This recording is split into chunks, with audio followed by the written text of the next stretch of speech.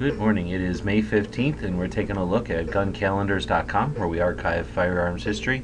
And today is the anniversary of the United States versus Miller, uh, a Supreme Court decision in 1939, which unfortunately uh, validated or suggested that the uh, 1934 National Firearms Act did not violate the Second Amendment.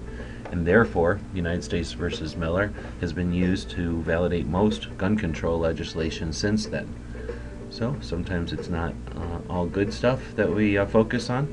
Uh, this is one that uh, maybe is good for discussion, but uh, let us know what you think in the comments. It's uh, United States versus the anniversary of United States versus Miller in 1939. If you know of something that we're missing on the calendar, let us know. Our goal is to archive as much firearms history as possible. Thanks for watching.